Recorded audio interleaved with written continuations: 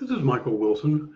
I'm looking at the premise uh, by Raymond Ibrahim, uh, where he says, There is no right or left, there's only right and wrong. That's a very striking and I, I think uh, an insightful way to see things. So, who is Raymond Ibrahim? You may not have heard of him. He's an author, uh, most recently, of Defenders of the West, the Christian Heroes who have stood against Islam. Uh, he's the distinguished uh, senior Shillman Fellow at the Gatestone Institute. If you're not familiar with the Gatestone Institute, uh, you, you, ought to uh, check their work out. Since uh, July of 2011, Ibrahim has been producing a monthly report, The Persecution of Christians. is dedicated to chronicling the abuses and slaughters of Christians uh, that is experienced throughout the Islamic world. In certain respects, these monthly reports, and there are over 120 of them, are the live, ongoing continuation of his 2013 book, Crucified Again. So, in looking at uh, his his article, one his, his premise is one of the most misleading and dangerous words that all sane people need to use with caution, if not just do away with it altogether, is the word the left. Why?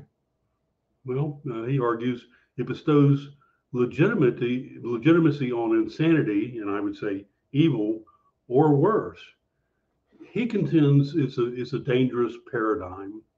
So, uh, quoting him, in the current discourse, the left and right are seen as polar opposites on a continuum of political views. That makes sense. Imagine horizontal line. The further right one goes, the more conservative, religious, traditional one becomes. The further left, the more one becomes the opposite liberal, liberal secular, progressive, Marxist. Meanwhile, and here's, in his opinion, uh, most arguably the misleading aspect of this paradigm, and, and we all use it, is the middle of the line. It's the centrist position, which becomes the default middle ground of the area where supposedly non ideologically charged people reside. Well, that's not true. Either something is right or it's wrong, either it's true or it's false. And so, uh, again, quoting him, to a large extent, this paradigm is nonsense and is increasingly being used to legitimize falsehood and corruption. is built atop, atop an assumption that there are no truths. And my opinion, we know Jesus is the truth, so we can count on what he says is being true or right, and anything that opposes that as being false or lie. So anyway, he continues. Um, if anything, uh, there are somewhere in the middle this approach that that is false as well. In so much as one veers to the right or the left, he becomes an extremist. So being right is being right.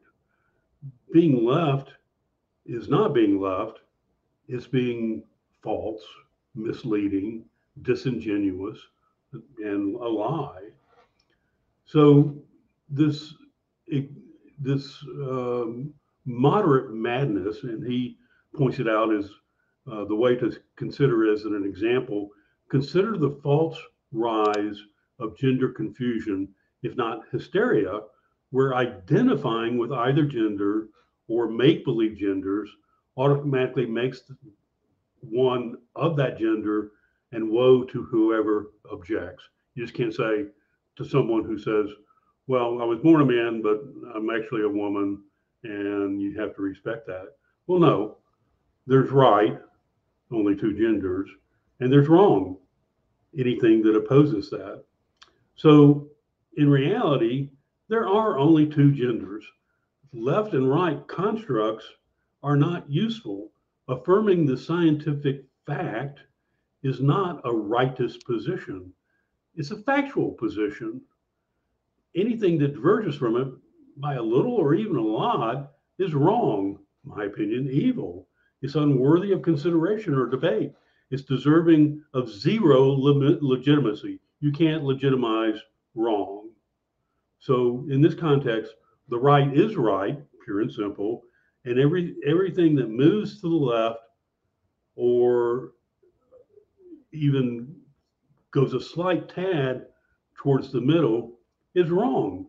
That includes the squeamish, squishy Chamber of Commerce right, and certainly the center, to say nothing of the left, where unadulterated madness reigns.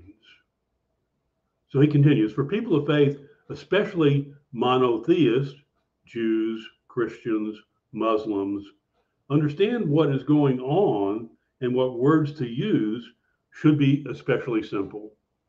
We establish Scripture as our source, Jesus is the truth, and anything that delete, um, excuse me, deviates from that is wrong. It's not left, it's wrong. So the truism may be that God created Adam and Eve, or that homosexuality of any kind is a sin, only missing a mark or an error. Whatever that religious truism, going against it should not be seen by the faithful as an alternative position.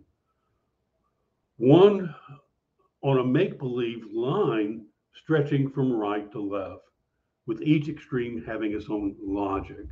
Anything diverges even a little from the truth should be seen for it is a falsehood and a lie. And we know that the devil and the Satan is the father of all lies. So, in this more accurate context, those who spew gender nonsense can at least be seen what, for what they are. They're not extreme leftists, but poor souls who suffer from insanity or possession. These adjectives may appear highly offensive, though no more offensive than the positions they describe, but at least they more accurately define what you're really dealing with. So, what should we do? We should speak up for what is right, what is correct, what is true. We know this from Jesus and the scripture, and anything else should be defined as deviant, evil lies.